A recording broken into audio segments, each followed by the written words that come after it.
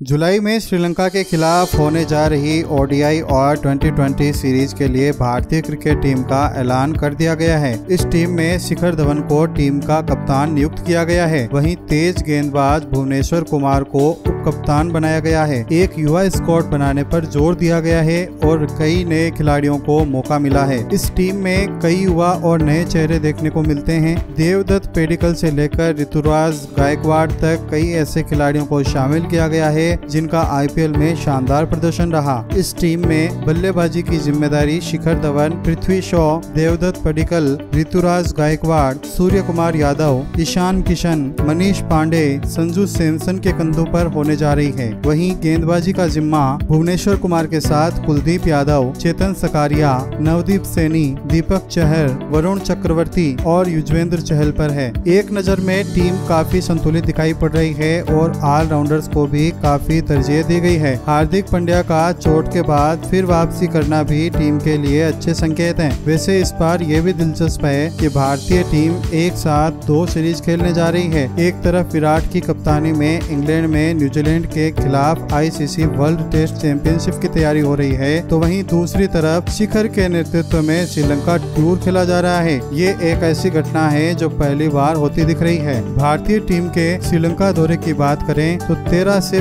25 जुलाई के बीच में पूरी सीरीज़ कराने की तैयारी है। इसमें तीन ओडीआई और 2020 मैच करवाए जाएँगे। एक तरफ़ 13, 16 और 18 जुलाई को वनडे मैच होंगे। वहीं 21, 23 और 25 जुलाई को 2020 मैच खेले जाएँगे।